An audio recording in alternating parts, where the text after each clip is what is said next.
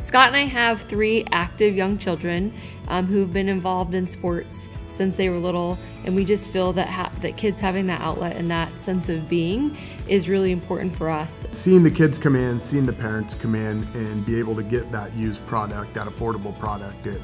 know a fraction of the cost that they're going to get for the new stuff, and seeing them get things they might not otherwise get, and the smiles on their faces, it's it's really cool. We really believe that kids find um, their their place in sports and for us Play It Again Sports just really fit our passion and what fuels us as, as parents and within our community.